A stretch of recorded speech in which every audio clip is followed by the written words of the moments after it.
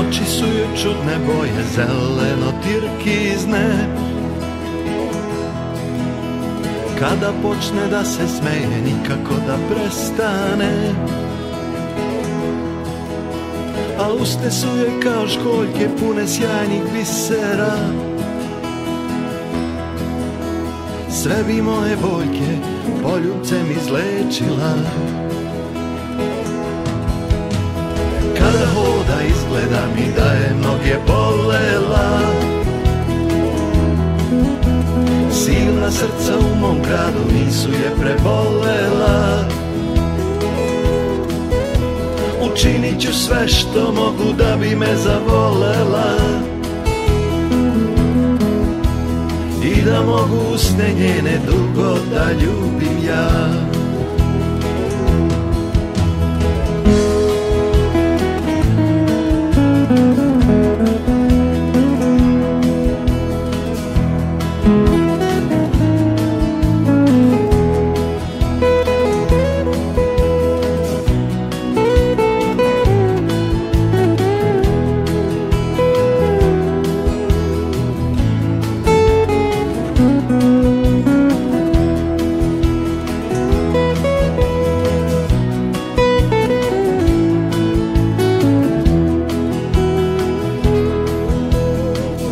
Onima što vole šeje nije da ne zavidim.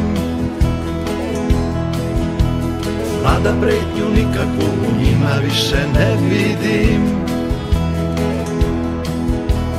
Ne imam valja razlog pred nekim da se postidim. Bitno je da srce zna zbog nje ću sve da uradim